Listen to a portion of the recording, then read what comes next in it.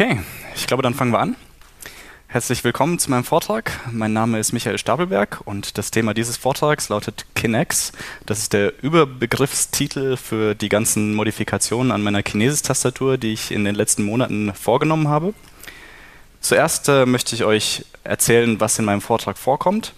Äh, der ist in drei große Teile aufgeteilt. Äh, zum einen habe ich einen eigenen Keyboard-Controller entwickelt, äh, dann habe ich dazu passend einen eigenen USB-Hub entwickelt und zu guter Letzt habe ich dann die Arbeit, die ich mir gemacht habe, genutzt, um damit Input-Latency-Messungen durchzuführen. Ich werde euch in jedem dieser Teile noch genauer motivieren, was da genau passiert und wieso und weshalb und was ich daraus gelernt habe. Am Ende des Vortrags werden wir noch ein paar Minuten Zeit haben für Fragen und Antworten. Wenn ihr allerdings Fragen habt, bei denen ihr denkt, dass sie das unmittelbare Verständnis des Vortrags behindern, wenn die nicht beantwortet werden, dann meldet euch bitte und dann können wir das auch zwischendurch machen. Gut, fangen wir an mit dem eigenen Keyboard-Controller. Was ist die Motivation dafür? Ich benutze die Kinesis Advantage Tastatur seit 2008, das heißt mittlerweile äh, zehn Jahre und es ist eine super Tastatur, die beste Tastatur, die ich je hatte. Sie kostet auch entsprechend viel, aber wenn man das mal investiert hat, dann ist man damit üblicherweise zufrieden. Zwei Sachen haben mich allerdings daran gestört. Das eine ist, dass die Tastatur mit den braunen Cherry MX Tastenmodulen kommt, standardmäßig, und das andere ist der Stuck Modifier Bug. Ich erkläre euch jetzt noch genauer, was das bedeutet. Wenn man auf der Cherry-Seite schaut, das ist die Firma, die die allermeisten Tastenmodule herstellt, äh, dann sieht man diese Auflistung hier. Die haben verschiedene farbige Tastenmodule, damit man auch erkennen kann, welchen man da gerade vor sich hat. Äh, und äh, die Kinesis-Tastatur kommt eben mit dem Soft Tactile, also die, blau, die braune Variante. Ich persönlich habe lieber die blaue Variante. Ich habe die schon viele Jahre vorher benutzt und ich wollte die gerne weiter benutzen. Ich habe mich dann erkundigt, ich habe äh, bei Kinesis angefragt. Kinesis ist übrigens eine Firma, die sehr freundlich ist gegenüber Bastlern. Äh, und habe die gefragt, hey, äh, gibt es irgendeine Möglichkeit, dass ihr mir eine Kinesis-Tastatur verkaufen könntet, die blaue Cherry MX-Tastenmodule hat? Und dann meinten sie, ja, nee, können wir leider nicht machen. Aber hey, wie wäre es denn, wenn wir dir einfach die PCBs schicken? Und dann... dann habe ich gesagt, ja gerne. Und äh, das kam dann ein bisschen später in der Post. Und äh, was man hier sieht auf der linken Seite, die Kinesis-Tastatur ist eben so gewölbt. Also ich habe hier sie auch dabei. Ja? Ähm, das ist eben einfach dafür, dass man äh, so quasi mit der Hand so reingreifen kann und das ist dann ergonomisch damit zu tippen. Und ähm, das, wie, wie, die das machen, eigentlich mechanisch ist interessant. Dieses PCB ist nämlich einfach ein bisschen dünner als die normalen Leiterplatten. Und dadurch kann man das dann so biegen. Das seht ihr auf dem rechten Bild. Und dann ist die Sache eigentlich relativ einfach, oder? Man kauft sich seine Lieblingstastenmodule, bestellt sich die PCBs bei Kinesis, lötet das alles zusammen und schon hat man seine Lieblingstastenmodule in der Tastatur. Eine Sache gibt es noch zu beachten. Was ihr hier abgebildet seht, ist eine sogenannte Tastaturmatrix. Bei einer Tastatur ist es nämlich nicht so, dass jede einzelne Taste mit einem Mikrocontroller verkabelt ist, sondern um Kontakte zu sparen, benutzt man eben so eine Matrix-Verkabelung. Das heißt, man teilt die Tasten in Reihen und Spalten auf und dann kann man die so nacheinander abscannen. Und was man jetzt hier sieht, ist, dass drei der Schalter geschlossen sind, der vierte aber nicht. Aber was hier passiert ist, aufgrund deswegen, wie die Matrix äh, verkabelt ist, wird der vierte Schalter auch als geschlossen ähm, eingelesen. Und diesen Effekt, den nennt man Ghosting. Das heißt, man drückt drei Tasten gleichzeitig und eine vierte wird erzeugt, ohne dass man es eigentlich machen wollte. Das ist natürlich ein Effekt, der nicht gewünscht ist. Man möchte natürlich nur, dass Tasten erkannt werden, die man auch tatsächlich gedrückt hat. Und da gibt es mehrere Methoden, um dieses Problem jetzt zu lösen. Die Methode, für die sich Kinesis entschieden hat, ist, Dioden zu verwenden, damit der Strom eben nicht auf diese ungünstige Art und Weise durch die Schaltung fließen kann. Jetzt ist es so, dass Cherry also die blauen Tastenmodule auch hat mit der Variante, in der eine Diode eingebaut ist. Allerdings ist es so, dass diese spezifische Variante schwierig zu bekommen ist. Wenn man also in den großen Elektronik-Shops nachschaut, also bei DigiKey oder Mauser oder wo auch immer, dann findet man üblicherweise die Cherry-Tastenmodule in allen möglichen Varianten, aber eben nicht mit Dioden.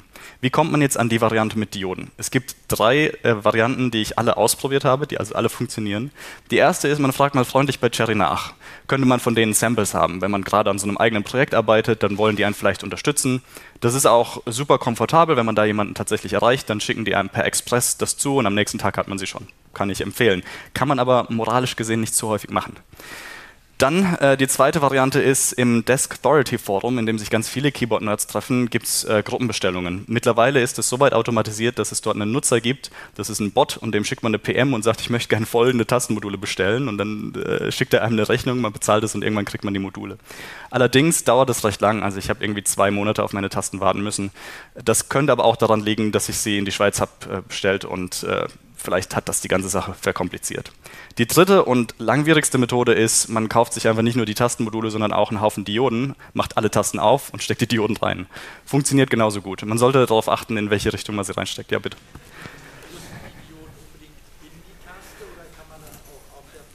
Frage war hier, äh, müssen die Dioden unbedingt in die Taste rein oder kann man das auf der Platine machen? Könnte man theoretisch auch auf der Platine machen, ja. Ähm, ich sehe eigentlich im Moment keinen Grund, wieso man das in die, in die Taste rein, außer dass das halt so ist, wie es vorgesehen war. Aber ja, gute, gute Anmerkung, vielleicht ist das dann Methode Nummer 4. Habe ich allerdings noch nicht ausprobiert, kann ich jetzt also noch nicht empfehlen. Gut, ähm, das äh, zu den Tasten. Jetzt kommen wir zu dem zweiten Problem, dem Stuck Modifier Bug. Was passiert also? Angenommen, man drückt Shift, man drückt A, man lässt A los, man lässt Shift los, aber die Tastatur verwirft den Shift loslassen Event. Das heißt, Shift bleibt gedrückt und man schreibt weiterhin groß, obwohl man es nicht wollte. Das äh, betrifft nicht nur Shift, sondern auch alle anderen Modifier. Das heißt zum Beispiel im Neo-Layout den Caps Lock Modifier, der da sehr wichtig ist und äh, führt dann eben dazu, dass man im, im äh, quasi einfachsten Fall schreit man halt die Leute online an, im schlimmsten Fall zerstört man sich seine komplette Inbox, weil man die falschen Tastenkombinationen verwendet. Das ist also ein nerviges Problem, was ich unbedingt auch beheben wollte. Das ist nämlich mehrfach in der Woche passiert, also durchaus über der Schmerzgrenze. Ich habe mich dann ein bisschen umgeschaut und laut den verschiedenen Internetforen weiß Kinesis auch von diesem Problem. Dann habe ich mir natürlich gedacht, okay, aber wenn die davon wissen, wieso korrigieren die das nicht einfach? Und dann in den Foren hieß es halt auch, dass man ein Firmware-Update von Kinesis kriegen könnte. Und dann dachte ich, okay, schreibst eben wieder den Support an, kennst du ja schon, angeschrieben. Und dann meinten die so, ja, hm, okay, äh, könntest du nicht mal alle diese Debug-Prozeduren durchmachen? Also die Tastatur hat im Originalzustand eben einen eigenen Speicher drin, den kann man resetten, wieder auf Factory Reset und Defaults und so weiter. Und dann gibt es ja so ein paar Prozeduren. Habe ich alles gemacht, habe denen geschrieben, ja, ist immer noch das Problem da, könnt ihr mir bitte einfach das Firmware-Update schicken. Das kann doch nicht so schwer sein, oder? Und dann meinten die, ja, okay, ist in Ordnung. Und eine Woche später bekam ich per Post einen neuen Mikrocontroller. Das war also, was sie mit dem Firmware-Update meinten. Äh, der Mikrocontroller ist nämlich auf dem Originalboard gesockelt, dann kann man den einfach runternehmen und die neue Version aufspielen sozusagen. Die, die gute Nachricht ist, dass der Shift Modifier seltener davon betroffen war, aber Caps Lock immer noch genauso häufig. Das heißt, so richtig haben sie das Problem irgendwie nicht lösen können. Und dann dachte ich auch, okay, vielleicht kann ich da jetzt nicht darauf warten, dass die sich das tatsächlich nochmal anschauen und fixen und mir dann nochmal einen neuen Mikrocontroller schicken, sondern vielleicht muss ich selber aktiv werden. Was ich dann gefunden habe, ist eine Serie von Blogposts von einem Blog namens Humble Hacker. Ihr kennt vielleicht das Humble Hacker Keyboard, das ist dieselbe Person. Und angefangen hat dieses ganze Humble Hacker Keyboard mit dem Reverse Engineering von einer älteren Version von der Kinesis-Tastatur. Und äh, die Posts kann ich sehr empfehlen, denn die sind wirklich sehr detailliert. Man sieht dort wirklich ähm, auch ähm, genaue Aufzeichnungen, also wie die Platinen belegt sind und so. Der hat sich da wirklich sehr viel Mühe gegeben. Und mit, diesem, mit dieser Serie an Blogposts kommt eben nicht nur die Beschreibung davon, wie die Kinesis funktioniert, sondern eben auch ein eigener Keyboard-Controller mit eigener Firmware, der, so wie ich damals dachte, eben nicht von dem Stack Modifier Problem betroffen war. Und dann habe ich kurzerhand gesagt, ich habe das Projekt einfach mal versucht nachzubauen. Äh, ich musste es nachbauen und konnte es nicht einfach eins zu eins replizieren, weil das eben eine ältere Version von der Kinesis war. Ich hatte eine neuere Revision, also ein bisschen was hat sich jeweils geändert, aber im Großen und Ganzen habe ich einfach das vom Humble Hacker nachgebaut. Das sieht dann so aus. Auf der linken Seite seht ihr ähm, von dem äh, Eagle-Programm das Layout, was ich hier gemacht habe, äh, zusammen mit einem Freund von mir. Ähm, Im Wesentlichen in der Mitte der Platine seht ihr eine, eine Stiftleiste, also einen Sockel sozusagen für den Teensy Mikrocontroller. Äh, zeige ich gleich noch genauer, was es damit auf sich hat. Aber ansonsten ist außenrum nicht mehr so viel Zeug. An allen vier Ecken seht ihr jeweils einen Konnektor, der sich mit den Modulen von der Tastatur verbindet. Also da sind dann die ganzen Tasten angeschlossen und unten drunter einfach noch ein paar LEDs. Das war es dann auch schon. Also die Platine ist relativ schnell gemacht gewesen und relativ schnell gefertigt und dann steckt man es da so drauf und programmiert den Mikrocontroller mit der Firmware und dann funktioniert es auch. Ich bin eben sehr vorsichtig vorgegangen in diesem Projekt, weil ich wirklich darauf bedacht war, dass ich eine funktionierende Tastatur hinterher habe. Ähm, das war zu dem Zeitpunkt meine einzige Kinesis-Tastatur, habe also einfach den Teensy genommen, wie der Humble Hacker auch, mit der Humble Hacker Firmware bespielt und für vier Jahre lang hat das Ganze gut funktioniert. Jetzt die Frage, warum habe ich jetzt überhaupt was daran geändert, wenn es ja funktioniert hat? Und der Grund dafür ist Input Latency. Leute haben angefangen, über Input Latency zu schreiben. Und da gibt es wirklich sehr gute Artikel darüber, äh, unter anderem einen, den ich sehr empfehlen kann, äh, von Pavel Fatin, der heißt Typing with Pleasure. Derselbe Autor hat auch einen Post namens Scrolling with Pleasure. Und die beiden Posts sind wirklich äh, die besten Artikel, die ich seit langer Zeit gelesen habe. Also kann ich euch wirklich ans Herz lesen, wenn ihr die noch nicht kennt, lest die mal. Und dann habe ich mich natürlich nach der Lektüre dieses Artikels gefragt, was ist denn eigentlich die Input Latency von meiner Tastatur, auf der ich Tag ein, Tag aus tippe? Und das Problem, wenn man sich so einen eigenen Keyboard-Controller baut, ist, niemand kann einem das beantworten. Man muss es selber rausfinden. Und die nachfolgenden Fragen sind dann natürlich, selbst wenn ich es dann wüsste, was kann ich daran ändern? Kann ich irgendwas daran ändern? Und wie weit kann ich gehen mit meinen Änderungen? Das war also quasi so ein bisschen der Einstieg. Schauen wir uns mal an, ähm, schematisch ganz, ganz grob nur, wo kommt denn eigentlich Input Latency her? Also was macht denn so ein Keyboard-Controller konzeptionell? Was ich hier abgebildet habe, ist, was könnte passieren im schlimmsten Fall, wenn man eine Taste drückt. Ähm, de, der erste Schritt, den so ein Keyboard-Controller macht, ist der sogenannte Matrix-Scan. Ich hatte ja vorhin schon angedeutet, die Tastatur ist in so einer Art Matrix verkabelt und da muss eben jede Reihe oder jede Zeile, je nachdem, wie rum man diese Matrix hält, einzeln beschaltet werden und dann einzeln gemessen werden. Das braucht natürlich eine gewisse Zeit und das muss natürlich für alle Reihen gemacht werden und dann äh, wird es auch noch üblicherweise in einem bestimmten Intervall gemacht. Es könnte also sein, dass ein Keyboard-Controller alle 10 Millisekunden nur diese Matrix scannt. Das heißt, wenn ihr die Taste drückt und das genau nach einem Matrix-Scan passiert, dann müsst ihr bis zu 10 Millisekunden warten, bis die Tastatur überhaupt erkennt, dass da sich was geändert hat. Was danach passiert und was genau noch mal so lange dauern kann, ist das sogenannte Debouncing. Äh, das ist ein Verfahren, mit dem man den mechanischen Effekt, dass wenn man einen Taster betätigt, der erstmal so ein bisschen hin und her wobbelt, und ich zeige das nachher noch genauer, mit dem man das ausgleichen kann, damit man einen sauberen Übergang von gedrückt auf nicht gedrückt oder umgekehrt hat und nicht so einen Hin und Her, in dem man mehrere Tastendrücke auf einmal bekommt. Und zu guter Letzt werden quasi alle Tastaturen heutzutage ja über USB angeschlossen. Und USB ist ein Verfahren, welches zumindest in den Versionen, die üblicherweise in Tastaturen zum Einsatz kommen, keine Interrupt-Fähigkeit hat. Das heißt, äh, hier wird ein Polling-Verfahren benutzt. Das heißt, auch wieder in einem bestimmten Intervall wird jeweils geschaut, ob die Tastatur neue Daten an den Computer senden möchte. Das heißt, das sind so die drei Hauptquellen von Input Latency, die eigentlich jeder Tastaturcontroller irgendwie bekämpfen oder machen muss. Jetzt ist die Frage, wie schlägt sich die Humble Hacker Firmware in Bezug auf Input Latency? Es ist so, dass die Humble Hacker Firmware, soweit ich das verstehe, und ich will mich da jetzt nicht zu sehr aus dem Fenster lehnen, aber so verstehe ich das, die Matrix nach jedem USB-Poll scannt. Ich weiß nicht genau, wieso sie sie nicht häufiger scannt. Meine generelle Theorie ist, dass ähm, Tastaturfirmware auf Stromsparen optimiert werden, wenn es um äh, Tastaturen geht, die auch an Mobilgeräten eingesetzt werden können, zum Beispiel an einem Laptop, da gibt es ja Sinn, dass die nicht zu viel Strom frisst, ähm, oder dass sie einfach auf ähm, Robustheit bzw. einfaches Programmierverfahren optimiert werden, oder dass sich einfach niemand Gedanken macht. Bei den billigen ist das sicherlich der Fall. Und äh, nach dem Scannen, was also nach jedem USB-Poll passiert, kommt dann das Debouncing. Da wird bis zu acht Zyklen hintereinander gewartet, also nochmal bis zu achtmal Pollen hintereinander. Äh, das, ich muss gestehen, das Debouncing in der Humble Hacker Firmware habe ich damals implementiert. Damals wusste ich noch nicht, was das für Auswirkungen haben könnte. Und wenn ihr euch die Commit Message anschaut, dann werdet ihr sehen, dass da literally drin steht, ich habe hier einfach mal 8 reingeschrieben und es hat funktioniert. Ich habe es seither nicht mehr angefasst. Äh, da gibt es also wirklich keinen Gedankengang dahinter, wieso das 8 sein sollte. Es hat einfach funktioniert und dann dachte ich, ist gut genug. Äh, mittlerweile weiß ich es besser. Und standardmäßig benutzt die Humble Hacker Firmware ein 10 Millisekunden USB Polling Intervall. In einem gewissen Rahmen könnt ihr das nämlich einstellen, einfach im USB Device Descriptor. Das ist einfach eine, eine, Zahl, also ihr könnt einfach die 10 ersetzen durch eine 1 und dann wird sie häufiger gepollt, sofern eben die Bandbreite auf dem USB verfügbar ist. Das habe ich dann erstmal gemacht, weil so ein zehnfach schnelleres Polling klingt eigentlich gut, insbesondere auch, äh, wenn das Debouncing halt an den Pollzyklen auch ausgerichtet ist. Und dann habe ich aber noch probiert, das Debouncing besser zu machen. Und das werde ich euch gleich noch erklären, wie man das verschieden implementieren kann. Und ich habe das probiert, aber es ist gescheitert. Und was meine ich jetzt damit? Naja, ich hatte eben diese eine Tastatur und auf der konnte ich die Firmware ändern. Und wenn ich die Firmware aber hochgeladen habe, hatte ich keinerlei Möglichkeit, irgendwie eine Debug-Ausgabe zu bekommen oder einen Debugger anzuschließen oder so, weil es einfach in der Hardware nicht vorgesehen war.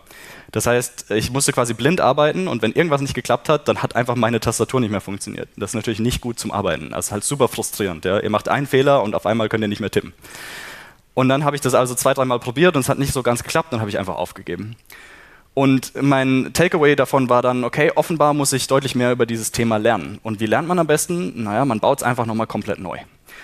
Und wenn ich mir dann gedacht habe, ja, dann baue ich eine komplett eigene Firmware, dann baue ich sie doch auch für einen neueren Teensy, damit das Design dann nicht so schnell obsolet wird. Ich habe jetzt schon mehrfach von dem Teensy gesprochen, jetzt wird es Zeit, das zu erklären.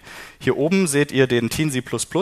Das ist ein recht beliebtes, ähm, ich sage mal, Microcontroller Development Board. Es ist ein sehr kleines Development Board. Ähm, oben in der Reihe und unten in der Reihe seht ihr ganz viele GPIO-Pins, also ganz viele Pins, über die ihr frei verfügen könnt, wenn ihr was basteln wollt. Auf der linken Seite seht ihr einen USB-Anschluss und auf der rechten Seite seht ihr einen Programmierknopf. Und der Clou an diesem Teensy ist eben, dass ihr ihn immer einfach über USB programmieren könnt. Ihr braucht keinen separaten Programmieradapter, könnt einfach diesen Knopf drücken und egal, was ihr vorher gemacht habt, wie fehlerhaft vorher die Firmware war, der wird sich dann eine neue Firmware über USB einspielen lassen. Und das auch ohne komplizierte Programme und deswegen ist dieser Chip eben sehr beliebt bei Bastlern. Also der wird auch in der äh, Modding-Szene und äh, Do-it-yourself-Szene sehr viel verwendet. Das äh, oben ist wie gesagt der Teensy++, das ist äh, von Atmel, ein AVR-Mikrocontroller. Ähm, der läuft mit 16 MHz und unten drunter seht ihr den aktuellen Teensy, das ist der Teensy 3.6, der läuft mit 180 MHz und ist ein ARM Cortex M4 Mikroprozessor. Und ich habe mir dann gedacht, ich nehme den unteren, weil der ist aktueller. Ähm, so, und also die, die Devise war, bauen wir uns doch einen eigenen Keyboard-Controller. Wie fängt man damit an?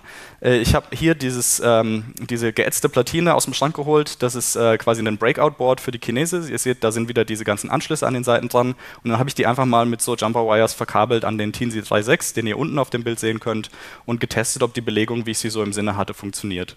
Natürlich habe ich bei der Belegung ein paar Sachen verbessern wollen, zum Beispiel eine serielle Schnittstelle rausführen, damit ich diesmal eben auch Ausgaben haben kann und äh, noch so ein paar kleine Details. Wenn ich dann eh schon dabei war, kann man auch den Schaltplan und das Layout ein bisschen aufräumen. Ich habe nämlich ähm, früher, also damals, als ich 2013 die Humble Hacker Firmware nachgebaut habe, einfach ähm, so lange an dieser Datei gearbeitet, bis es funktioniert hat und sie dann direkt einfach so gelassen, online gestellt, ist schon gut genug. Aber ein paar Sachen konnte man tatsächlich verbessern. Äh, unter anderem das Namensschema hat nicht übereingestimmt mit den äh, Namen, die auf den Kinesis-Platinen standen und das macht es ein bisschen kompliziert, weil man nicht so genau weiß, was muss jetzt wie zusammengesteckt werden. Das habe ich verbessert. Es gab ein Platzierungsproblem. Der Keyboard-Controller hat eigentlich in der Mitte nochmal eine Schraube, mit der er festgemacht werden kann. Die hat bei mir nicht richtig gepasst. Ähm, der hält auch so, aber schöner wäre es doch, wenn man ihn auch wirklich festschrauben könnte. Und zu guter Letzt habe ich die Keyboard-Matrix umgelegt. Ich hatte nämlich damals einfach die von Humble Hacker verwendet, was dazu geführt hat, dass ich ein Design hatte, was ein bisschen unvorteilhaft war. Und diesmal habe ich so gemacht, dass, dass sich das Design bequem verlegen lassen kann, weil es ist ja eigentlich quasi egal, wo die Matrix auf dem Keyboard-Controller ankommt. Gut, so sieht dann das fertige Resultat aus. Auf der linken Seite seht ihr die äh, Platine. Diesmal ist sie ähm, purple und nicht green, weil ich sie bei Oshpark habe fertigen lassen. Es ist äh, so ein äh, Leiterbahnfertigungsshop aus den USA, super bequem. Ihr könnt da einfach eine Eagle-Datei hochladen und die rendern die dann in ganz viele verschiedene Layer und zeigen euch das. Ihr klickt auf Bestellen und dann kommt die ein bisschen später in der Post an. Also bequemer als das geht es eigentlich gar nicht. Ähm, die haben auch die ganzen Design-Rule-Files und alles, was ihr braucht, um mit Eagle zu arbeiten. Also das ist wirklich von vorne bis hinten eine sehr gute Erfahrung. Ähm, ihr seht wieder, wie die Platine aufgebaut ist. In der Mitte ist wieder ganz viele Pins und da kommt so ein Teensy drauf und an den Seiten habt ihr wieder diese Ausgänge. Auf der rechten Seite seht ihr wieder, wie es in die Tastatur eingebaut ist. Ähm, diesmal geht nicht nur ein USB-Kabel von der linken Seite dran, sondern eben auch die ähm, verschiedenen ähm, Pins auf der rechten Seite sind auch angeschlossen fürs Debugging. Gut, äh, zur Firmware. Äh, ich habe gesagt, die Firmware bauen wir von Grund auf. Das nennt sich dann Bare Metal, also ohne irgendwie ein Betriebssystem oder sonstige Abstraktionen dazwischen habe ich direkt mit diesem Mikrocontroller gearbeitet. Was ich verwendet habe an Tools ist der GCC ARM Cross Compiler und die libnewlib, damit man einfach so eine grundlegende Umgebung hat. Äh, vom Teensy 3 Projekt habe ich das Linker-Skript wieder verwendet, weil das sonst einfach war mir zu viel Frickelei, das auch noch selber äh, zu machen, insbesondere weil es auch nicht so gut dokumentiert ist. Aber dann habe ich einen eigenen Startup-Code dafür geschrieben, den USB-Stick selbst, äh, den USB-Stack selbst integriert und einen komplett eigenen Keyboard-Code dafür geschrieben. Und die Idee ist eben, bare metal zu gehen, damit einem wirklich nichts dazwischen funkt. Also damit man wirklich weiß, äh, jede einzelne Instruktion, die gehört dahin, weil ich sie dahin geschrieben habe und dass man wirklich das alles gut durchmessen kann, ohne dass da irgendwas dazwischen kommt, von dem man nicht weiß, was es ist. So, äh, wie schlägt sich jetzt also diese neue Firmware? Das Scanning hat äh, insgesamt einen Delay von bis zu 0,1 Millisekunde. Das kommt jetzt daher, weil wir den Teensy 3.6 auf seinen vollen 180 MHz betreiben, weil wieso nicht, wir haben es ja. Und äh, wir rufen diesmal die Scan-Funktion einfach in der Schleife auf, hintereinander, ohne dass wir warten auf den USB-Pol, sondern wir sagen einfach Scan die ganze Zeit.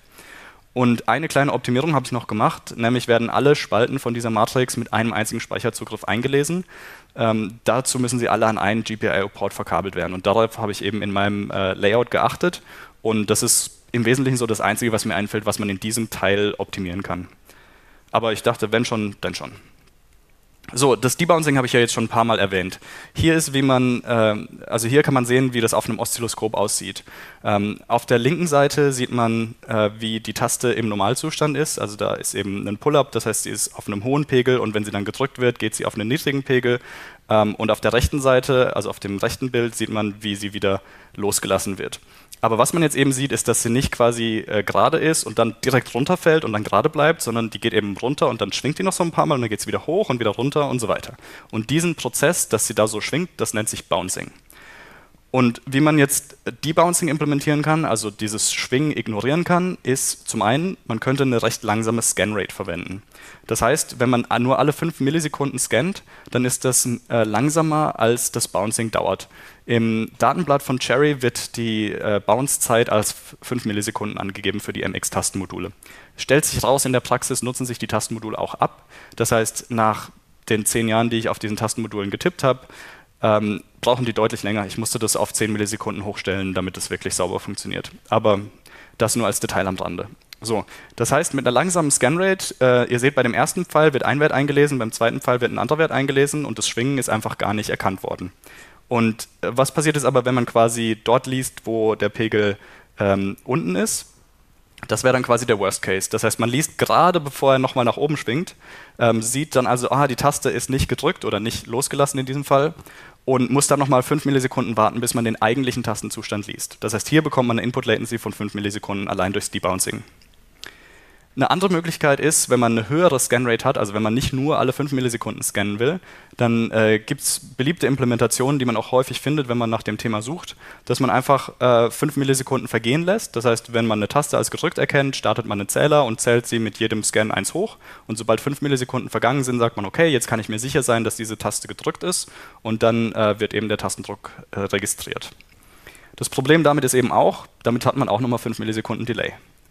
Die bessere Variante ist jetzt, dass man sagt, okay, sobald ich eine Änderung bemerke, äh, registriere ich direkt diesen Tastendruck und danach warte ich. Hat letztendlich denselben Effekt, das Bouncing wird übersprungen, aber man hat eben direkt die Statusänderung. Und damit hat man überhaupt gar keine Latenz mehr, also keine Verzögerung mehr in diesem Prozess. Beim Tastedrücken funktioniert das Ganze ganz genauso. Fazit ähm, zu dieser Firmware. Wir haben eine Scan-Latency von bis zu 0,1 Millisekunde. Die Debounce-Latency konnten wir komplett eliminieren und die USB-Poll-Latency haben wir auf den niedrigstmöglichen Wert gestellt, also äh, bis zu einer Millisekunde. Das heißt, die Input-Latency von der Tastatur in dieser Revision, wie ich sie gerade äh, vorgestellt habe, bewegt sich äh, im Intervall von 0 Millisekunden im Idealfall, wenn man gerade so drückt, dass alles direkt passiert, bis hin zu 1,1 Millisekunde im schlimmsten Fall. Die Frage ist natürlich jetzt, können wir das weiter reduzieren und wenn ja, wie? Schauen wir uns mal die USB-Standards an. Äh, ihr seid sicherlich alle vertraut mit USB 1, 2 und 3. Ihr wisst bestimmt alle, dass sich die Geschwindigkeiten unterscheiden von 12 Mbit auf 480 auf 5 Gigabit. Aber was mir neu war, ist, dass äh, die USB-Versionen auch sogenannte Microframes festlegen und die bestimmen eben das Poll-Intervall. Und das Microframe war bei USB 1 auf eine Millisekunde limitiert und bei USB 2 auf 125 Mikrosekunden. Und bei USB 3 sind sie tatsächlich auf Interrupts gegangen. Das heißt, man hat da überhaupt kein Polling mehr, sondern kann auch sagen, ich möchte jetzt direkt Daten übertragen. Die allermeisten Tastaturen benutzen eine Variante von USB 1, entweder USB 1.0 Low Speed sogar oder USB 1.1 Full Speed, aber die sind eben alle auf das eine Millisekunde limitiert. Ich habe mir jetzt angeschaut, was ist eigentlich für einen Mikrocontroller auf dem Teensy 3.6 drauf. Und das ist von der Firma NXP, von der äh, Kinetis-Serie. Ist ganz ähnlicher Name, aber was anderes als die Kinesis-Tastatur, gibt keinen Bezug.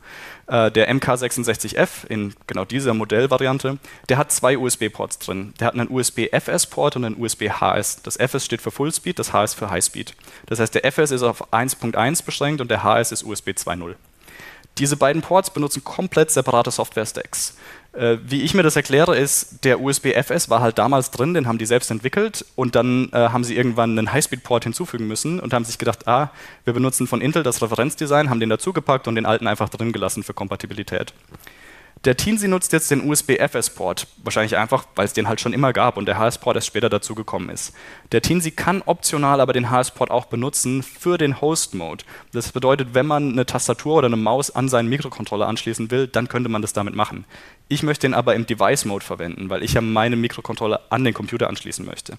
Und außerdem ist die Software noch ganz in den Kinderschuhen gewesen, für den Host-Mode vom Device-Mode mal überhaupt noch gar nicht zu reden. Dann habe ich mich direkt beim Hersteller umgeschaut. Von NXP gibt es auch einen SDK, also einen äh, Software Development Kit mit verschiedenen Beispielen, inklusive einem Beispiel dafür, wie man diesen USB-HS-Port verwenden kann. Leider funktionieren diese Beispiele nicht direkt auf dem Teensy, denn der Teensy unterscheidet sich von dem Evaluation Board, was NXP hat und für das NXP seine Beispiele auslegt, darin, dass er eine andere Clock-Konfiguration verwendet. Also der benutzt einen 12 MHz statt einen 16 MHz Crystal. Und dann muss man eben die Beispiele erstmal portieren sozusagen. Außerdem hatte ich im seriellen Setup-Code noch ein Problem gesehen, was ich dann auch noch äh, beheben musste, bevor ich eine Ausgabe auf der seriellen Schnittstelle erlangt habe. Leider hat es dann bei mir nicht geklappt, den USB-HS-Port auf dem Teensy mit diesen Beispielen direkt zu verwenden. Und ich weiß im Nachhinein nicht wieso, weil eigentlich hätte es funktionieren müssen, aber es kann gut sein, dass ich irgendwas übersehen habe bei dem ganzen Portieren. Ich habe dann, äh, ja bitte.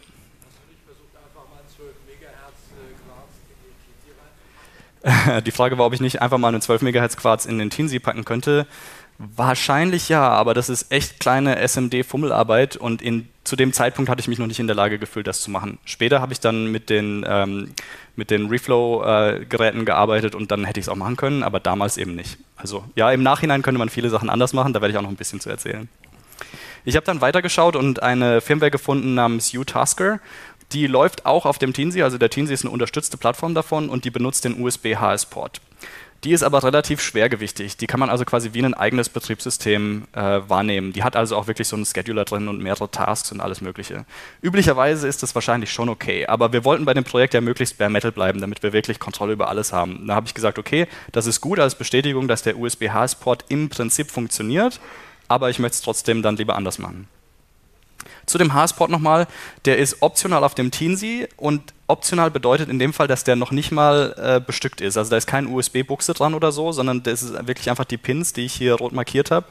Und äh, man braucht also ein Breakout-Board dafür, damit man da eine USB-Buchse bekommt, aber leider ist in der Tastatur nicht genug Platz an der Stelle, an der dieser Mikrocontroller sitzt. Das heißt, selbst wenn man das eben so aufbauen würde und ein Breakout-Board anlöten würde, wird das nicht reinpassen in die Tastatur. Und dann habe ich mir gedacht, okay, das ist jetzt aber schade. Was machen wir denn jetzt? Bauen wir noch einen Keyboard-Controller. Diesmal benutzen wir also direkt den NXP Microcontroller statt einen gesockelten Teensy und dann haben wir auch maximale Freiheit darüber, wie das alles äh, vom Layout her ist und wo die Platzverhältnisse passen. Eine Sache habe ich gleich gelassen, nämlich den Teensy Bootloader Chip. Ich hatte vorhin angedeutet, dass man beim Teensy mit einem Tastendruck direkt wieder neue Firmware programmieren kann und das war ein Feature, was ich beibehalten wollte. Unter anderem auch, weil ich minimale Änderungen zwischen den verschiedenen Hardware-Revisionen haben wollte, weil es das Debugging einfacher macht, gerade wenn man wie ich nicht so viel mit Hardware macht. Ähm, damit haben wir also den gleichen Programmiermechanismus und man kann sich den einfach im Shop äh, kaufen, dort wo man auch den Teensy bestellen kann, für eigene Projekte. Das ist wirklich so gedacht. Finde ich ein sehr gutes Angebot. Hier ist dann das fertige Ergebnis. Auf der linken Seite seht ihr wieder die gefertigte Platine, auf der rechten Seite seht ihr die bestückte Platine. Äh, diesmal ist schon deutlich mehr auf dieser Platine zu sehen. Aber im Wesentlichen ist der ganz große Chip, äh, eher so auf der linken Seite von der Mitte, ist der Microcontroller. Der ist jetzt ein bisschen größer als der Teensy vorhin, weil der Teensy eben maschinell gefertigt wird und sich deswegen erlauben kann, die kleinste Bauform von diesem Chip zu verwenden. Aber hier ich die etwas größere Bauform gewählt habe, damit ich das noch von Hand löten kann. Im Nachhinein betrachtet auch wieder könnte man das anders machen, äh, mit besseren Maschinen und so weiter, aber zu dem Zeitpunkt wollte ich es halt so machen. Auf der linken Seite von dem Microcontroller seht ihr den Teensy Bootloader Chip und oben drüber den Programmierknopf. Dann sieht man oben den USB-HS-Port und auf der rechten Seite davon den anderen USB-Port, den USB-FS. Und beim USB-FS ist auch noch die, ähm, die paar Komponenten dabei für die Stromversorgung von dem ganzen Ding. Das war es im Großen und Ganzen auch schon. Eine Sache, äh, zwei Sachen gibt es noch zu erwähnen. Zum einen den seriellen Port, der jetzt auf dieser Stiftleiste rechts von der Mitte rausgeführt wird. Und dann äh, unten drunter ist nochmal genau so eine Stiftleiste für den Programmierport. Das heißt, ich kann nicht nur diesen Programmierknopf mechanisch manuell mit meiner Hand drücken, sondern ich kann auch ähm, programmatisch über einen anderen Mikrocontroller den Programmiermodus einleiten. Davon habe ich dann auch Gebrauch gemacht. Ich habe mir also eine Entwicklungsumgebung aufgebaut sozusagen auf der linken Seite seht ihr, wie aus der Tastatur ein USB-to-Serial-Adapter rausgeführt wurde. Auf der rechten Seite seht ihr den sogenannten Rebootor. Das ist tatsächlich ein Fachbegriff aus der Teensy-Community. Äh, was man darunter versteht, ist, einen zweiten Teensy anzuschließen, der eine spezielle Firmware hat. Und wenn man dann den Teensy-Loader startet, um die neue Firmware runter, äh, also auf das Gerät zu laden, dann äh, triggert der erstmal den Programmiermodus. Das heißt, man kann sich wirklich in seinem Editor äh, nicht nur den Compile-Befehl einstellen, sondern den Compile-Befehl verknüpfen mit, wenn die Firmware compiled, dann installiere sie doch gleich mal auf der angeschlossenen Tastatur. Das macht es natürlich sehr angenehm. Ähm, nicht nur habe ich also mir so eine Entwicklungsumgebung aufgebaut, sondern ich sollte auch dazu sagen, dass ich diesmal nicht den gleichen Fehler gemacht habe wie beim Anfang, als ich mir also meine einzige Tastatur quasi zerschossen habe, sondern diesmal hatte ich eine alte Kinesis-Tastatur von einem Arbeitskollegen von mir bekommen, der meinte, ja, die ist mir kaputt gegangen, manche Tasten funktionieren nicht mehr so richtig und dann meinte ich, ja, ist mir egal, ich tue eh eigene Elektronik rein, gib mir die doch mal, ich kann damit was anfangen. Ähm, und dann habe ich die eben umgebaut und habe mir quasi eine Entwicklungstastatur gebaut. Und das ist jetzt auch die, die ich hier dabei habe. Das heißt, ich habe jetzt eine zu Hause, eine auf Arbeit und die da. Ähm, und das ist dann gut zum Entwickeln. Gut, ähm, Firmware für diese äh, Controller-Revision basiert auf dem NXP äh, SDK, was ich vorhin schon erwähnt habe. Ähm, der USB-HS-Port läuft auf meiner eigenen Hardware ohne Probleme. Das ist sehr gut, denn das bedeutet, dass wir uns ab sofort nicht mehr um die Bare Metal Firmware kümmern müssen. Die äh, NXP-basierte Firmware ist auch noch Bare Metal, aber nicht mehr selbst entwickelt, sondern die benutzt einfach den USB-HS-Stack, der von NXP mitgeliefert wird. Meine Hoffnung ist, dass dieser Stack ein bisschen fehlerfreier ist als alles, was ich in meiner limitierten Freizeit hätte entwickeln können. Und insbesondere, wenn NXP bei anderen Kunden Probleme findet, dann fließen diese Änderungen da eben wieder mit ein. Das heißt, meine Hoffnung ist so ein bisschen, dass ich dadurch jetzt meine Firmware auf neuere Revisionen von diesem SDK einfacher portieren kann. Werden wir mal sehen, wie sich das in der Praxis bewährt aber das war eben die Idee. Ich habe diese Firmware auch äh, komplett mit der MCU Expresso IDE implementiert.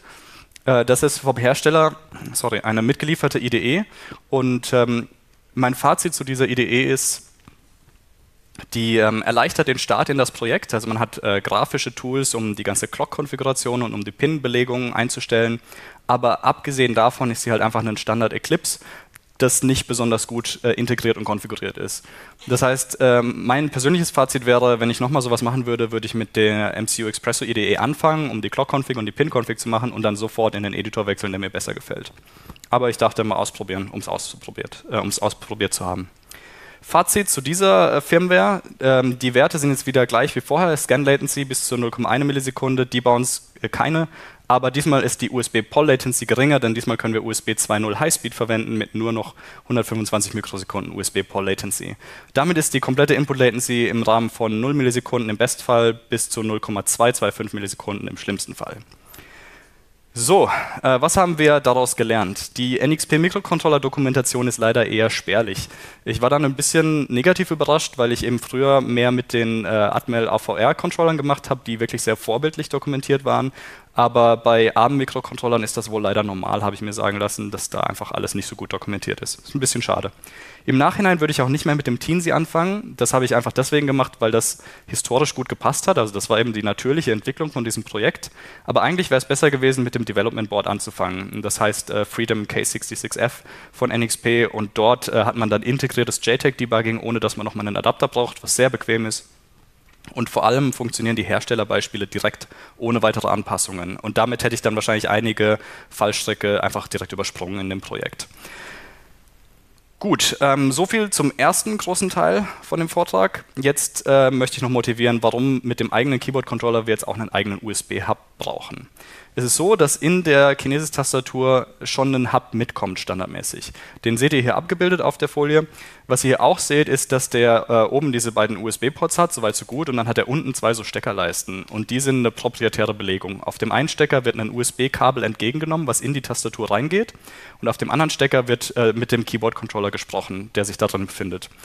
Allerdings ist es so, dass, der, ähm, dass diese Platine USB nach PS2 konvertiert, weil der Keyboard-Controller eben schon recht alt ist. Also der benutzt auch noch alte äh, Through-Hole-Komponenten und noch keine SMD-Komponenten. Der ist wirklich sehr alt ähm, und der spricht eben PS2. Das heißt, selbst wenn wir diesen Hub weiterverwenden wollen würden, könnten wir es nicht, weil wir sprechen ja USB und nicht PS2.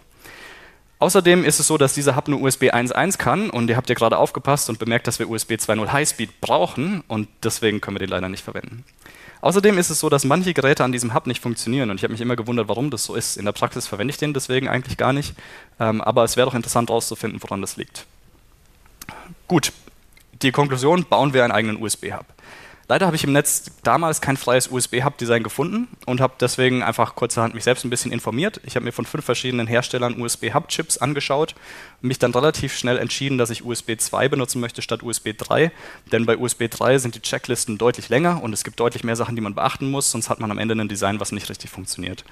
Ähm, das ist für Bastler einfach, also für Bastler auf meinem Niveau muss man einfach mit USB 2 vorlieb nehmen im Moment. Ähm, der Abschluss dieser ganzen Vergleichsarbeit war, dass von dem Hersteller Cypress die HX2VL-Serie die beste Doku hat. Dort kann man nicht nur ausführliche Datenblätter finden, sondern auch ein Referenzdesign, also ein Evaluation Board, dessen Layout man bekommt, dessen Bill of Materials man bekommt, man bekommt eine Design-Checkliste, es gibt ein Forum mit Community und so weiter. Also die hatten auf jeden Fall die besten Ressourcen. Da habe ich gesagt, okay, dann nehme ich auf jeden Fall die. Das Resultat davon seht ihr dann hier auf der linken Seite wieder das äh, Platinenlayout aus Eagle, auf der rechten Seite die bestückte Hub-Platine. Äh, in der Mitte ist es ein bisschen schwer zu erkennen, weil so viel passiert auf dieser Platine, aber in der Mitte sitzt eben der USB-Hub-Chip und alles weitere außenrum ist eigentlich nur für die Stromversorgung von diesem Hub-Chip und von den USB-Ports. Die USB-Ports brauchen nämlich diese fetten, runden äh, Kondensatoren, damit man das Hotplug machen kann, ohne dass da alles kaputt geht. Und dann ist noch ein bisschen, ähm, ein paar Komponenten sind noch drauf, um den Überspannungsschutz für die einzelnen USB-Ports zu realisieren. Denn wenn ihr ein Gerät einsteckt, was sich nicht ordentlich verhält, dann soll natürlich nur der Port abgeschaltet werden und nicht der ganze Hub nicht mehr funktionieren. Ja, bitte? Was war deine Motivation, einen eigenen USB-Hub zu entwickeln, statt einfach was Fertiges zu schlagen? Ah, genau, ja. Ähm, sorry, das hätte ich noch sagen sollen. Die Frage war, was war die Motivation, äh, einen eigenen Hub zu nehmen, statt was Fertiges auszuschlachten? Ähm, der Grund ist eben zweierlei.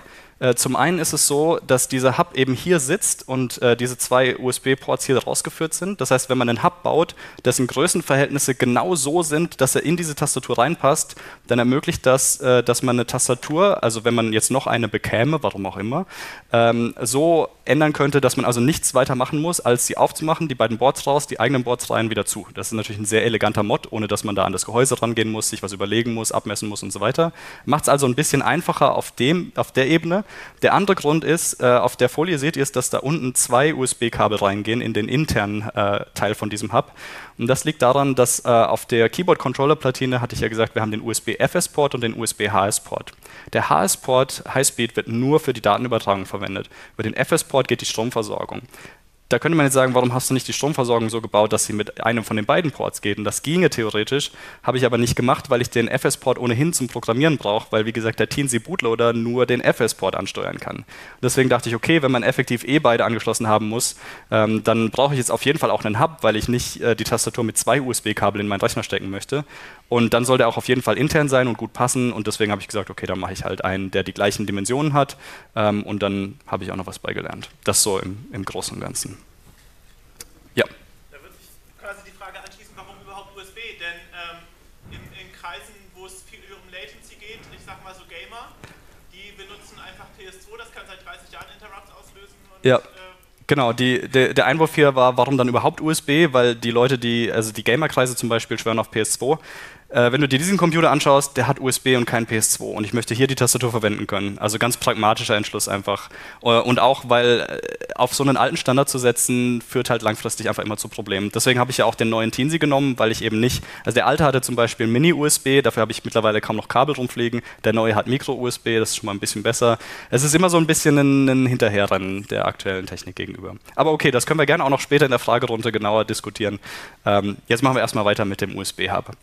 In der ersten Revision von diesem Hub hatte ich die Stromversorgung so konfiguriert, dass sich der Hub als Bus-Powered ausgibt gegenüber dem Computer. Das ist auch korrekt, äh, denn Bus-Powered bedeutet, dass er seinen kompletten Strom über das USB-Kabel bekommt. Äh, Im Gegensatz zu zum Beispiel Self-Powered, wo man ein aktives Netzteil noch an den Hub anschließen müsste. Habt ihr bestimmt schon alle gesehen, einen aktiven USB-Hub, das wäre Self-Powered, aber ich habe eben Bus-Powered, weil ich will ja jetzt nicht noch ein Netzteil mitschleppen für meine Tastatur, das wäre ja affig. Dann äh, habe ich also meine Geräte angeschlossen in die fertig bestückte Platine und gesehen, das geht mit dem Logitech Receiver für meinen Trackball zum Beispiel und es geht mit dem YubiKey, aber was nicht funktioniert, ist meine externe Festplatte. Okay, die braucht vielleicht viel Strom, aber es geht auch noch nicht mal mein USB-Stick. Und dann dachte ich, das kann ja jetzt schon nicht sein. Ich habe dann in ähm, das Syslog geschaut und der Linux-Kernel teilt mir hier mit, dass er äh, eine USB-Konfiguration verworfen hat oder zurückgewiesen hat, weil nicht genügend Strom verfügbar ist über diesen Bus-Powered-Weg äh, hin zum Gerät. Und dann dachte ich, aber die Geräte gehen doch an anderen USB-Hubs, die auch Bus-Powered sind. Und dann habe ich alle gekauften Hubs, die wir zu Hause hatten, untersucht und festgestellt, dass alle von sich behaupten, self-powered zu sein, obwohl sie es gar nicht sind. Und das liegt einfach daran, dass man damit die Power Calculation im Kernel umgeht und Self-Powered laut Standard eben 500 mA über alle Ports zulässt, statt bei Bus-Powered nur 100 mA pro Port. Und solange die Endkunden dann nicht zu viele stromhungrige Geräte gleichzeitig anschließen, funktioniert es schon irgendwie in der Praxis, aber es ist halt nicht korrekt. Und dann dachte ich, okay, äh, da sollte ich dann eben wohl an der Stromkonfiguration das so ändern, dass äh, der Kernel versteht, wie viel Strom ich hier wirklich ähm, brauche. Also ich wollte es auch so ein bisschen tricksen wie die gekauften Hubs, weil das soll schon genauso angenehm funktionieren. Und habe dann also einen EEPROM auf äh, die Platine gelötet. Äh, das hatte ich am Anfang in der ersten Revision nicht. Das heißt, ich habe noch eine Revision fertigen müssen mit einem EEPROM, äh, in der ich dann den Max-Power-Wert konfigurieren konnte. Stellt sich hinterher raus, das war unnötig, weil ich Max-Power falsch verstanden hatte. Ich dachte, das ist der Strom, der äh, den der Hub an sich braucht und den er weitergeben kann. Das war aber falsch, sondern Max Power ist nur der Strom, den der Hub für sich braucht.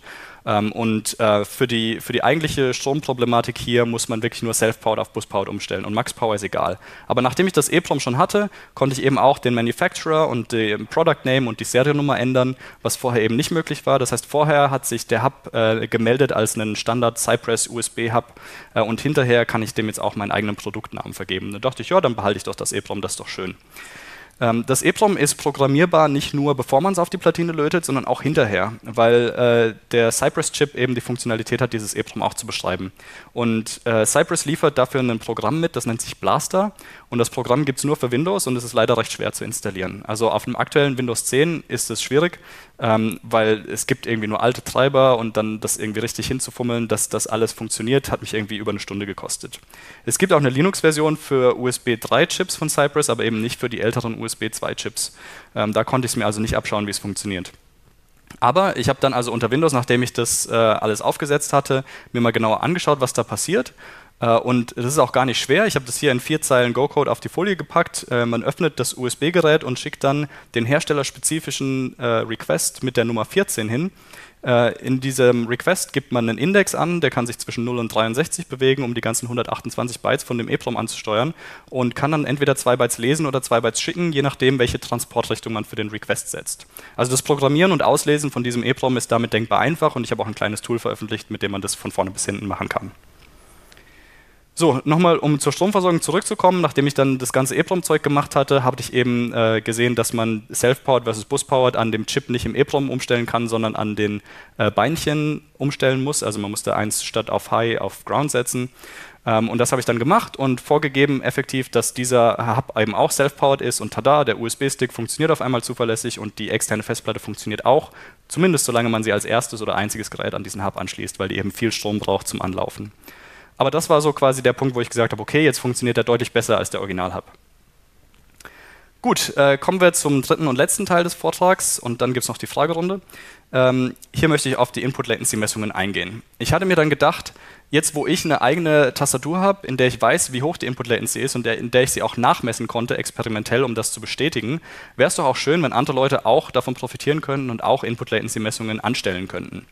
Und dann habe ich mir gedacht, das ist ein bisschen unkomfortabel, wenn andere Leute dafür erstmal einen Tastaturcontroller bauen müssen, den sie ja vielleicht gar nicht brauchen und wollen. Und deswegen habe ich mich entschlossen, diese Firmware eben auf das äh, Freedom Evaluation Board zu portieren. Das seht ihr hier abgebildet. Man kann das für circa 60 US-Dollar in jedem größeren Elektronikshop kaufen. Und äh, unten rechts auf der Folie seht ihr, der hat einen Debug-Anschluss. Das ist das, über den man, äh, über diesen Anschluss kann man das JTAG betreiben. Und der Anschluss oben drüber ist eben USB Highspeed für an den Computer anschließen. Der, ähm, dieses Board hat dann noch drei Taster. Ich habe mich für den Switch 3 entschieden, aber ist egal, die sind alle gleich gut. Ähm, und wenn man den Switch 3 betätigt, dann wird eben die Messung gestartet. So, die Messfirmware ist fast wie die Keyboard-Firmware äh, mit ein paar kleinen Anpassungen. Und konzeptionell, was hier gemacht wird, also wie die Messmethodik funktioniert, ist, wenn man den Switch 3 drückt, dann wird ein Caps Lock Tastendruck an den Computer geschickt. Warum Caps Lock? Weil das der einzige Tastendruck ist, der eine Bestätigung vom Computer erhält, wenn er verarbeitet wurde. Der Computer schickt nämlich, ganz rechts seht ihr das, einen Hit Report, also einen Human Interface Device Report zurück, in dem er sagt, okay, Tastatur, schalte jetzt mal die Caps Lock LED auf folgenden Zustand. Und das nutzen wir aus, indem wir von Caps Lock schicken bis hin zu Caps Lock Hit Report empfangen messen. Ähm, was wir noch rausrechnen müssen, ist die USB-Poll-Latenz. Äh, das ist hier am Anfang eben die 125 Mikrosekunden, wenn wir USB 2.0 Highspeed verwenden. Und am Ende findet nochmal eine USB-Transaction statt, ähm, einfach weil der Hit-Report ja auch vom Host an das Gerät übertragen werden muss. Aber das zwischendrin ist dann eben die Processing Latency. Also man unterscheidet bei der Ende-zu-Ende-Latenz zwischen Input-Latency, alles was die Tastatur verursacht, Processing-Latency, alles was der Computer braucht zum Verarbeiten und Output-Latency, alles was der Monitor braucht, um das dann auch wirklich anzuzeigen, was sich geändert hat. Gut, ähm, auf dem Host, wie gehen wir hier vor? Die Messmethodik ist, ähm, wir müssen folgende Komponenten auf jeden Fall messen, weil wir quasi nicht höher rankommen, ohne eigene Kernel-Module zu schreiben. Wir vermessen den USB-Host-Controller, das ist so ein Chip auf eurem Mainboard.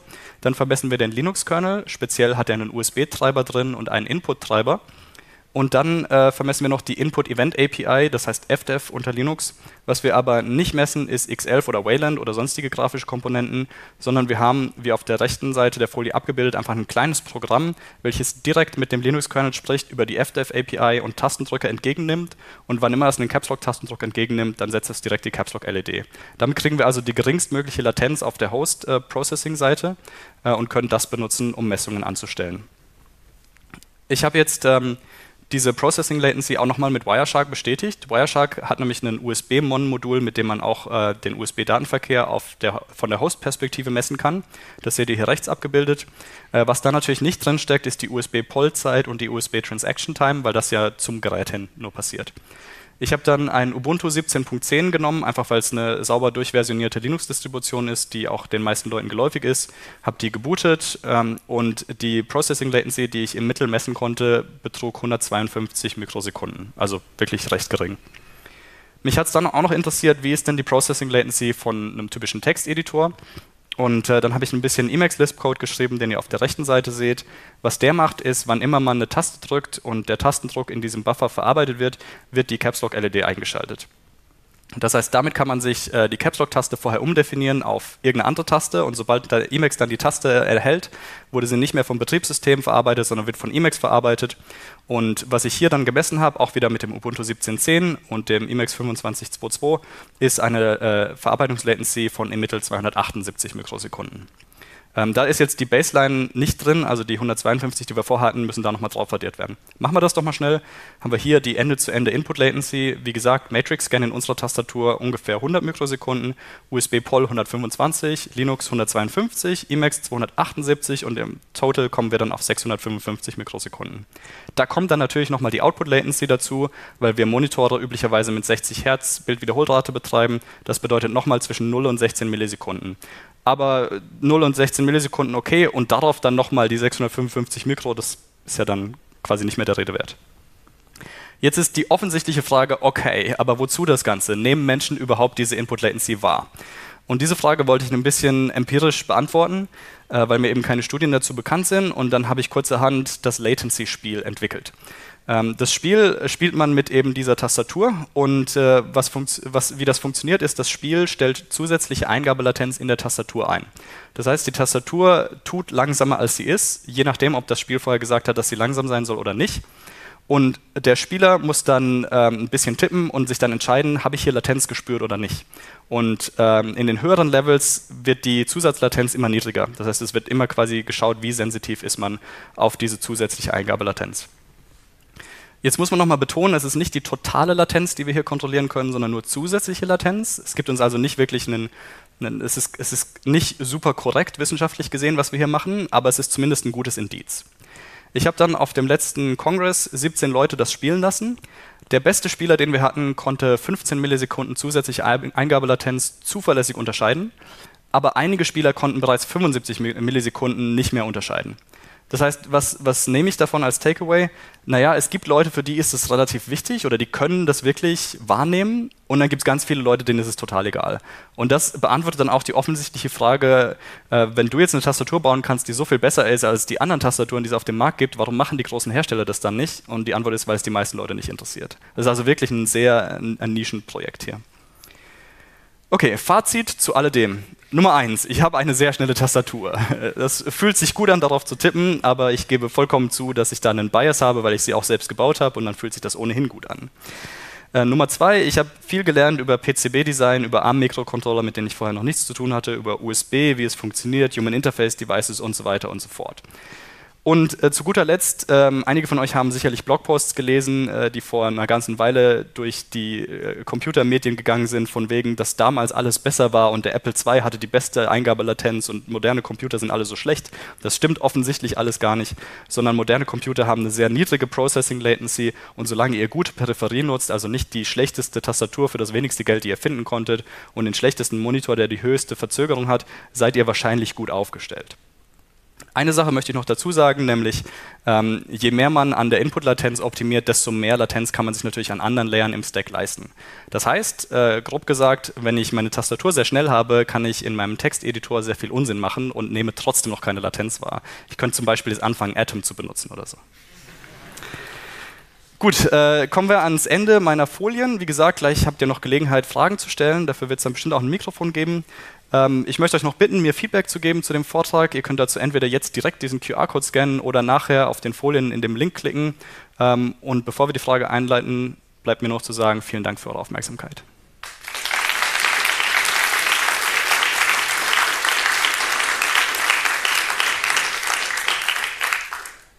Fragen. Ja, vielen Dank für diesen sehr informativen und interessanten Vortrag. Wir haben noch genau zehn Minuten, also noch perfekt, um Fragen Super. zu stellen. Ich habe noch eine Anmerkung, äh, wie man an Taster mit äh, Diode drankommt. Und zwar gibt es von Cherry das MX-Board 3.0. Das kostet 65 Euro und da sind über 100 Taster drin. Man muss sie halt nur noch auslöten. Aber das, das geht sehr einfach, habe ich selber schon gemacht. Okay, vielleicht bist du einfach sehr gut im Auslöten. Äh, meine Observation ist, dass es wahrscheinlich für mich schneller geht, äh, Tasten aufzumachen und Dioden reinzutun, als Tasten auszulöten. Aber je nachdem, welche, welche Techniken du zur Verfügung hast und wie geübt du bist, ist das ein guter Punkt. Ja, danke.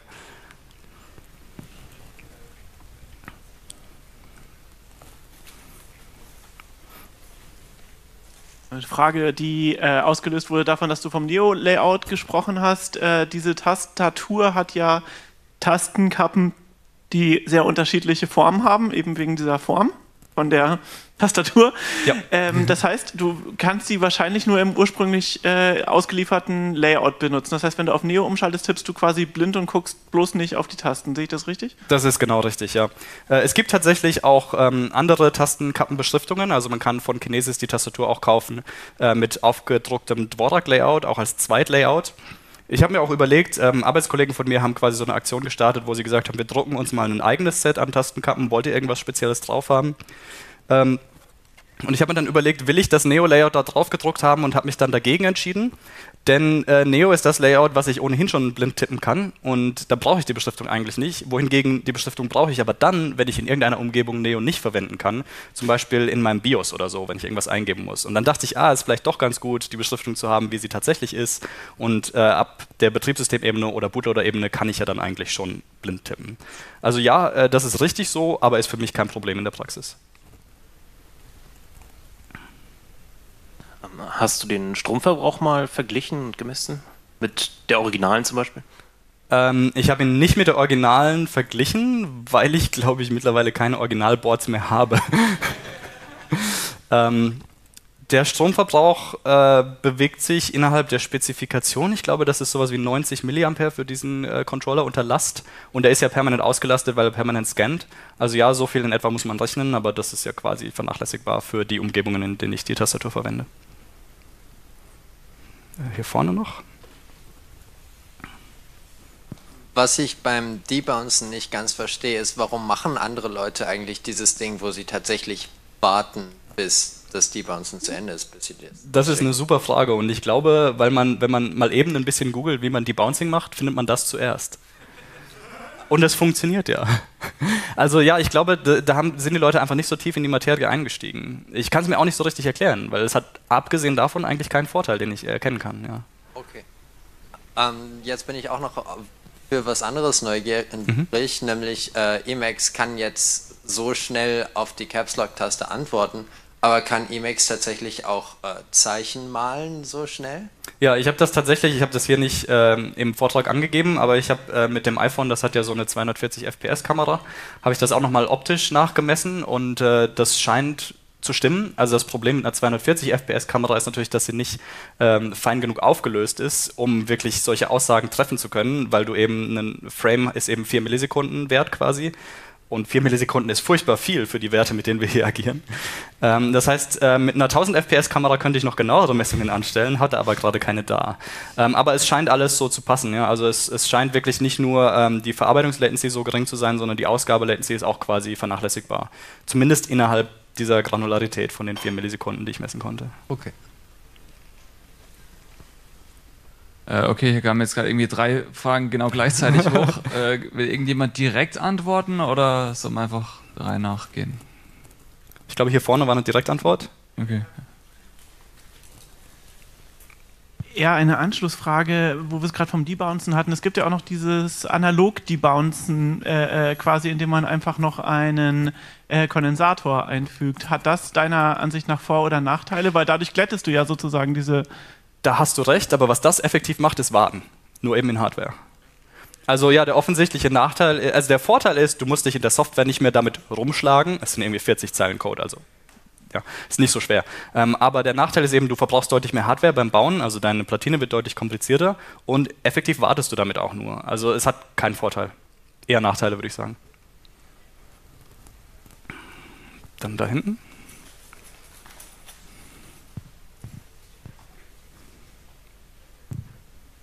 Wenn ich es richtig verstanden habe, hast du ja Ghosting ganz eliminiert durch die Dioden. Das ist korrekt, ja. Ähm, hast du beim USB Übertragen des Keystrokes auch die 6 Key-Beschränkung eliminiert? Nein, habe ich nicht. Ähm, das liegt einfach daran, ähm, dass ich in meinem persönlichen Anwendungsgebrauch mir nicht vorstellen kann, wie ich jemals mehr als sechs Tasten gleichzeitig drücken müsste. Und außerdem gibt es einen konkreten Vorteil, wenn man quasi das einfache Verfahren macht, und das ist nämlich, dass die Implementation deutlich einfacher wird. Denn ähm, dein BIOS verwendet den quasi runtergebrochenen einfachen Subset vom USB-Tastaturstandard und dein Betriebssystem kann den auch. Und das ist, woher diese sechs äh, Tastenlimitation kommt, also sechs Tasten und einen Modifier-Zustand. Ähm, und wenn man jetzt wollte, dass, also wenn man die umgehen möchte, dann musst du eben einen separaten USB-Hit-Modus implementieren und dann äh, implementieren, dass die Tastatur zwischen den verschiedenen Konfigurationen wechseln kann. Das heißt, wie das dann passieren würde, ist beim Booten hast du am Anfang den limitierten Modus, dann startet dein Betriebssystem und schaltet sie in den vollen Modus. Und das hatte für mich so wenig greifbare Vorteile, dass ich mir gesagt habe, den Aufwand mache ich mir nicht. Insbesondere, weil es halt deutlich mehr Code auch ist und deutlich mehr Zeug, was kaputt gehen kann. Und was ich auch mit verschiedenen Betriebssystemen hätte testen müssen. Und so ist es halt einfach, ja, du nimmst die Referenzimplementation vom Hersteller und die funktioniert im BIOS und im Betriebssystem, aber sie hat halt diese Beschränkung. Also der Hintergrund meiner Frage ist, ich benutze sowas für Maschinenstenografie und da ist es ein Anwendungsfall, weil mit 6 mhm. NQ Rollover funktioniert das absolut nicht. Okay, das Und deswegen würde mich interessieren, ob das noch möglich ist nachzuimplementieren, weil die Kinesis-Tastatur war bisher sehr interessant für Stenografen, aber eben nicht benutzbar. Ah, okay. Ja, das also ist, vielleicht das können ist, wir uns äh, da noch unterhalten. Ja, gerne. Das ist super interessant. Äh, da bist du die Erste, die äh, mal wirklich einen Anwendungsfall für, für mehr als 6-Key-Rollover hat, der nicht nur Gaming-Leute sind, die das cool finden. Ähm, ja. ja, das freut mich. Da können wir uns gerne nachher noch unterhalten drüber. Sprich mich einfach nochmal an. Äh, hier vorne noch eine Frage. Ähm, beim Ghosting habe ich jetzt ein Ding konzeptuell nicht verstanden, nämlich äh, der Chip, der hat doch weniger Kabel, die reingehen, als es Tasten gibt. Korrekt, ja. Das heißt, es gibt irgendwelche Tastenkombinationen, die gar nicht an den Chip mitgeteilt werden können, oder? Doch, oder? doch, doch. Ähm, also, äh, okay, ja, da muss man jetzt ein bisschen ausholen. Ähm, die eine Variante, das Ghosting zu eliminieren, ist, dass du quasi ähm, schaust und sagst, äh, es gibt Tastenkombinationen, die nie gültig sind, weil sie Ghosting verursachen würden. Und das ist tatsächlich der hardware-sparende Ansatz, Ghosting zu vermeiden, indem man sagt, ich designe meine Matrix so, dass die Tastenkombinationen, die Leute selten drücken würden, so darlegen, dass die diejenigen sind, die ungültig sind. Das muss man sich auch, ich, ich habe da noch einen, einen, Link in der Folie drin stehen, wo ähm, ein sehr guter Blogpost beschreibt, wie man so eine Matrix designen würde. Ich würde dir raten, das mal durchzulesen, weil danach ist wirklich auch alles klar. Ich kann das jetzt nicht innerhalb von einer Minute hier erklären. Ähm, aber der Punkt ist eben, mit den Dioden kannst du es wirklich so machen, dass alle Tastenkombinationen verfügbar sind, ohne dass es Ghosting gibt. Okay, danke. Äh, hier vorne mal noch eine Frage. Direkt hinter dir. Ah. Ähm, wenn ich mir jetzt so eine Modifikation kaufen wollte oder das, ich, ich äh, hol mir quasi von dir deine Pläne, schick die irgendwo hin, was ist denn dann so insgesamt der Preispunkt? Gute Frage. Ähm, ich habe alles, was du brauchst, um das zu machen, veröffentlicht. Also es gibt es unter github.com slash kinex-project, ist auch auf den Folien verlinkt natürlich. Und ähm, ein bisschen das Problem ist, dass man bei Oshpark ähm, nur in Multiplen von drei bestellen kann. Das heißt, du kannst ja nur immer drei Keyboard-Controller bestellen und drei USB-Hubs. Äh, drei Keyboard-Controller kosten 162 Dollar, die USB-Hubs kosten irgendwie nur 50 Dollar. Ähm, das heißt, das wäre der, der Platinenpreis, sofern du nicht eine Gruppenbestellung mit anderen Leuten machst. Ähm, und der Komponentenpreis bewegt sich für beide Builds jeweils drei Stück bei circa 50 Euro. Und du brauchst natürlich noch Werkzeuge, ne? also einen guten Lötkolben und so weiter. Wenn du das alles noch nicht hast, dann muss man noch ein bisschen mehr ausgeben. Ja, aber klar. Okay, für eine letzte Frage haben wir noch Zeit. Ah, hier vorne? Hier vorne ja. Habe ich das richtig verstanden, dass ähm, das Einzige, was verhindert, dass man mehr als, sechs, als sechs Tasten auf einmal drücken kann, Software ist? Das ist korrekt, ja. Okay. Gut, dann äh, wie immer ist ja der Speaker vermutlich wird nicht sofort weggebeamt, sondern ist noch da. Ihr könnt gerne genau. Könnt ihr gerne nochmal kommen und nachfragen. Äh, noch ein letztes Mal vielen Dank. Das war super informativ.